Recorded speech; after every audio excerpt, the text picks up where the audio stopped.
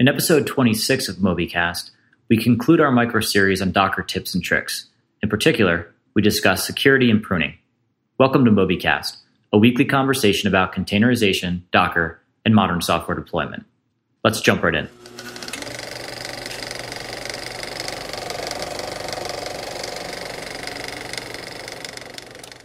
Welcome, Rich, Chris. It's another episode of MobyCast. What have Hey. you, what hey, what have you been up to this week, Chris? Yeah, so exciting times here at Kelsus. The the team is growing, and um, we've been uh, busy trying to uh, hire uh, for for a new position for a product manager. So I have been busy doing doing interviews and meeting a lot of interesting folks, and um, trying to find that that perfect perfect person to join our team. Yeah, we've also been hiring uh, mobile software developers and and uh, backend software developers. So it's been, oh my goodness, I've just I, my days are peppered with interviews, but it's been fun to meet so many great people. How about you, Rich? Are you growing your team? Yeah, so we have about five part time developers. Um, they're only part time because I can't seem to get away and out of the way. So right now we're really focusing on on handing off all of the lead development to two people um, to get them up to full time, and then we'll start hiring junior developers. It's been a really difficult process for me to get away from Bill Blowers, uh, and and I'm really just you know painfully doing it the wrong way until I figure it out. uh, I've definitely been there, um, and you and I have talked a lot about that. So I think you're doing a lot of the right right thing. Yeah, it's just a learning process. I'll get there eventually. right. So we, last week we talked, uh, we did another talk on the tips and tricks from Adrian Mouat's talk at DockerCon. And this week we have, I think, just a couple more to go through. Um, they've just been providing such fun conversation that we think it's worth going all the way through the list. So, Chris, can you just give us just a high level, quick overview of what the talk was about? Sure, you bet. Um, so this was again a uh, grab bag collection of, of tips and tricks, just common pitfalls that folks have when using when using Docker. Um, and so Adrian is is part of the Docker Captains program, which is a, collection of just Docker SMEs, experts working with the community, um, helping folks in the community adopt Docker. And so these are some of the, the common patterns, pitfalls that folks run into, and um, so kind of talk with some of the other Docker captains to see what their top issues that they saw um, along with his, and put together a presentation of, hey, here's some of the top things that we see out there, and hopefully these are helpful for folks. Cool. And so the last one we talked about was shutting down gracefully. And then it looks like we're about to be able to get into some security tips. Yes, indeed. So it's kind of interesting, right? Like this security, it just keeps coming up, right? And I mean, if, if we go back and over all the MobyCast podcast, every time we mention security, I'm, I'm sure it's, it's, I don't know what the percentage is, but it's, it's definitely, um, it's definitely a, a pretty large number. Um, so in, so security is, you know, always kind of should be top of mind. Um, it's a, it's a wide open area of, of just, there's so many things to consider. Um, and so this, in this particular breakout session, some tips on like, just at the container level, what are, what are a few things that you can do to kind of help, um, in the area of security and, and to, to harden your image a little bit more, uh, your container a little bit more. So one of the the first things um, that he talked about was just you know use you can you can use this read only flag um, for Docker to to say that when you're um, when you're mounting a a file system, you want that file system the the file the the, the volume mount to be read only, and so that limits you know the ability for for the mutations you know it doesn't allow for mutations to happen, and so it makes it um, just increases your security posture there a little bit. So if you don't need to do writing, um, use the read only flag um, on your volume mounts. So you're going to be, you have a volume mount that's going to be, re, you know, making some host file system available to your Docker image. Your Docker image is stateless, so it doesn't need to be writing anything to that host file system. So mount it as read only and the, the container can read from it and not write to it. And then yeah. if your container becomes compromised by some external force, then that external force cannot write to the host file system or whatever other file system got mounted. Yeah, and, and actually, um, maybe to uh, clarify just a little bit. It may be a little bit more involved where it's the root file system of the container is is read only, Mm. right? So um, Is that will- considered a volume mount? No, so the, in, in that particular that that wouldn't be. So so this is um you know full disclosure. I have not used this this this this flag um Okay. myself, and so I haven't had the chance to to play around with it. But you know, I think the important point here is that you can you can definitely limit the the surface area of of of mutations, and um, so I, I believe you know, and kind of thinking through this more, I, I believe that this is more along the lines of you're just making your actual container itself read only so that you can't you, the file system of the container. So it's it's not necessarily the volume mount it's just the, the the file system of the container itself. Make it read only. And it goes along with the fact that you know for the most part containers should be stateless. Um, Sure. you know they're just everything is is there in the image that it needs. It it it, it instantiates itself. It's running um, and any state that it needs is done outside the container, um, like you know making calls to a database as, a, as another service or whatnot. So I almost Uh, like that as a, not just a security feature, but as a, a best practices forcing function. Like, hey, guess what? It's read only, so don't write to this thing. Go figure out another way to store stuff if you need to store stuff than on the local file system. hmm yeah, absolutely. And I think you can use um, this in in concert with the um, there's another flag for like tmpfs. So like that would be the one case where like there's kind of like um, a potentially a, a, real use case for for writing to the container file system is if you need just some temp files to to work with as you do your work, right? But Um, yeah, but that, haven't we learned that that can be really dangerous? Like if you open up any writing at all, all of a sudden you can you can have a situation where you've got a container filling up the entire host hard drive or whatever you know, Yeah, file system the I mean- has without realizing it. So absolutely, that that opens you up to like just programming bugs where you're just not doing the right thing and cleaning up after yourself. But uh, there are very real use cases where you need to have a temporary spot, right, to do things. I mean, Sure. you could have a, a pipeline for for doing like image manipulations or or video encodings or something like that, right? Where you're you're you have intermediate files that need to be output, um, Sure. and it just makes sense to to write them to disk um, Sure. as they move through. So so having having that capability it may be required. Um, but you can still you can still have this read only file system, but you know use this this tmpfs command line uh, this uh, parameter as well for Docker to basically mount a a, um, a temp uh, file system that you can use for those kinds of manipulations while still keeping the the root file system read only. just for the sake of argument, um, that may kind of hinder some of the security benefit that you get from just having everything read only. Because I, I can just imagine a, an attack vector is if I can get access somehow and I can start filling up a file system, then I can take down a whole service, even if it's tmpfs. I can take down a whole service by filling up that tmpfs, and then all of a sudden, all of the other containers on the host start breaking and things fall apart. Uh, so, from a security perspective, not being able to write at all um, is more secure than even having a tmpfs. But yeah, I get it. You sometimes you just need files to write to to do some work.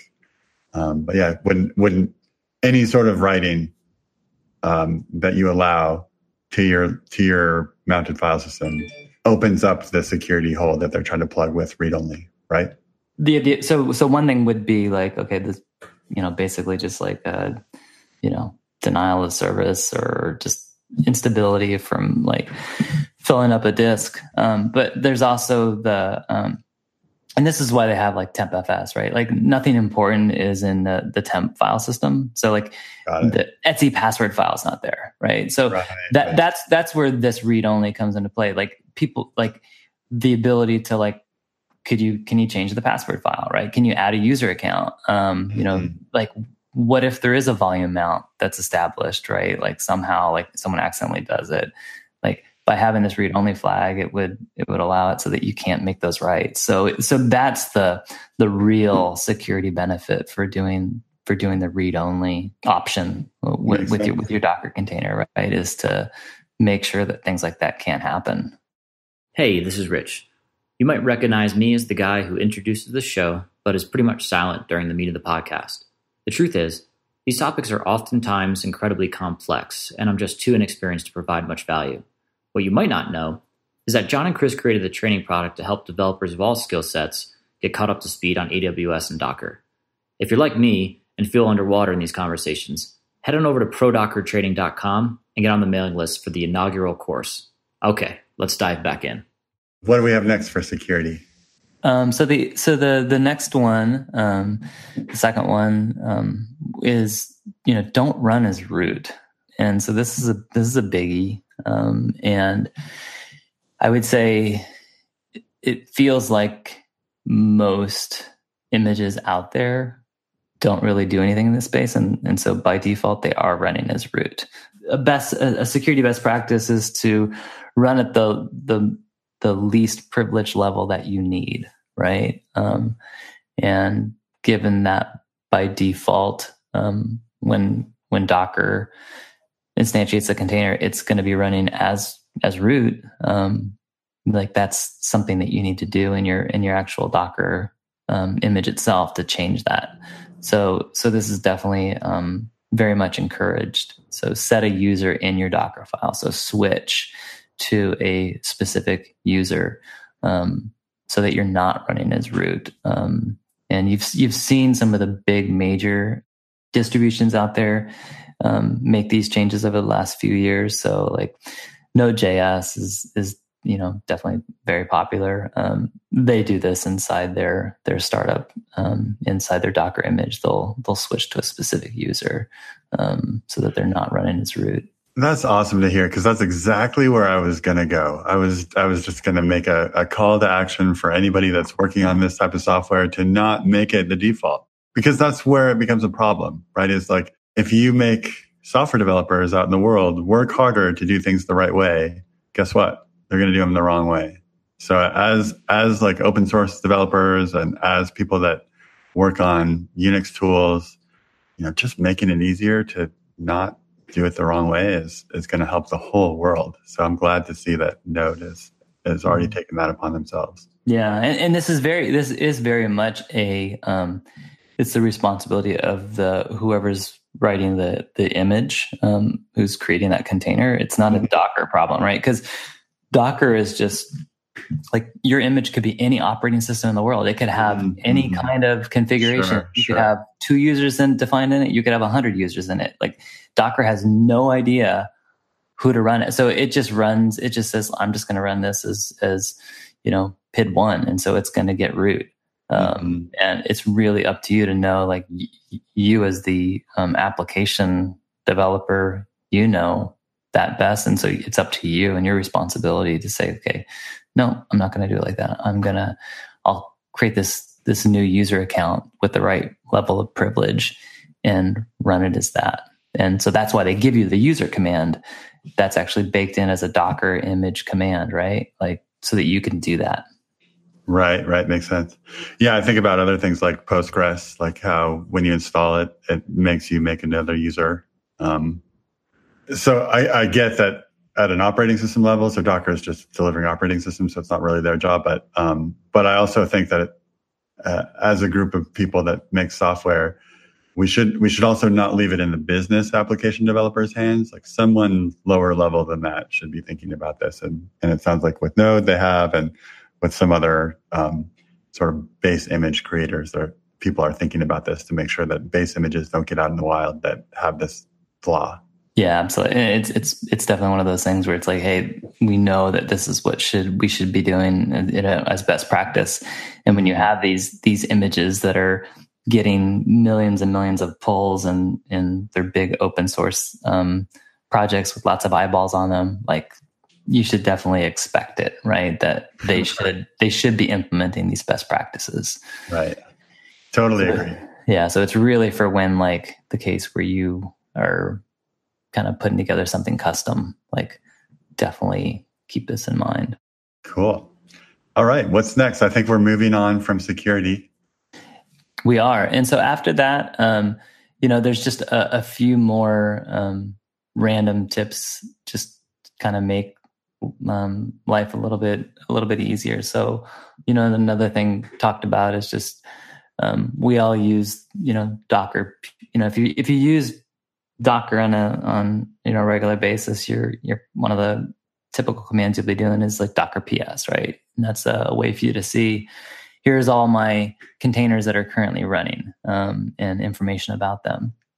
And so, uh, you know, it kind of points out that hey, the default output for this is pretty ugly. Like it's it's not too terribly readable. A lot of times it'll, it'll line wrap as well, and there's just a lot of information there that kind of makes it hard to to read and parse. So, um, you can there is a um, a, for, a dash dash format command line argument for Docker PS, and with that, it's very um, flexible and, and allows you to have complete control over the formatting of that output. And so kind of gives them, you know, examples like if you just want to have a table, a tabular format with the name of the container along with what image it's using and its status, very easy to do something like that. And you can, you can do it as a command line argument for Docker PS when you're running it, or even better, um, is to change your Docker configuration um, file to just say this is what I want my PS format string to be. So if you, um, for most people, this is in your your home directory in the in the dot Docker directory. Underneath that, um, config JSON. Go in there, add an entry for um, PS format, and put in the value for that command line argument that that formatting string that you that you prefer.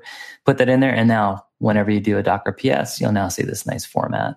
So a little, you know, a little tip that um, could end up uh, in being quite useful. Um, and uh, I think it's stuff like that. It's stuff like that that if you take the time to just know some of that stuff, it just is going to set you apart. It's you know, if you're a software developer and and you, I just read a tweet three or four days ago that said something like, "I've been using Emacs for ten years and I'm still pretty awful at it." And it's like, don't be that person. Learn these things. Um, especially if you're kind of committed to something like if you're if you're going to use docker for more than a year learn some of this stuff because it's going to that's what really makes the you know the mythical 10x developer is somebody who who has taken the time to learn little things that that shave minutes and seconds and and just make life easier as opposed to somebody who just kind of learned a couple things and just reuses those same couple things over and over and over and over yeah, and I don't know about you, but I mean, I I'm, I don't know if I'm really sensitive to the messaging now, or it's just become more popular. But this whole idea of compounding interest, um, mm-hmm. and like if you just get one percent better today or this week, um, and you do that on a continual basis, that all adds up, right? So you right. end up be- becoming like that 10x improvement after five years, right? Um, as opposed to not improving. So so yeah, th- this is this is probably definitely one of those things, right? Where it's like it's a little tweak, it's a little it's a little improvement, but if you do, if you have a regular stream of these things, um, like they all add up, and and they do have a compounding effect. Right. Exactly. Cool. Are we done, or was there anything else we wanted to cover? Um, you know, as, as in in this particular talk, um, get, talked a little bit about cleaning up, um, and you know how you can get rid of you know old images containers and volumes and networks. I think we, we've talked about this on previous previous episodes. Um, so docker now has the prune um, command. Mm-hmm. so take take good use of that. So docker system prune will clean up everything run that every once in a while um, and you will free up tons of space um, on your machine um, so docker system prune is your friend nice yes and I think that wraps it up. So um, it was definitely a big, a big session with lots of great tips, and also kind of sparked quite a bit of conversation with us. So I think we got three episodes out of this, three MobyCast ep- episodes out of it. But it was fun, and I think it was very worthwhile. So hopefully, folks will take away some some favorites from this. Great, thanks, Chris, and thanks, Rich, um, for putting this together. Yeah, thanks, guys. See you later. Take care. Bye bye. Well, dear listener, you made it to the end. We appreciate your time and invite you to continue the conversation with us online. This episode, along with show notes and other valuable resources, is available at mobycast.fm forward slash 26. If you have any questions or additional insights, we encourage you to leave us a comment there. Thank you, and we'll see you again next week.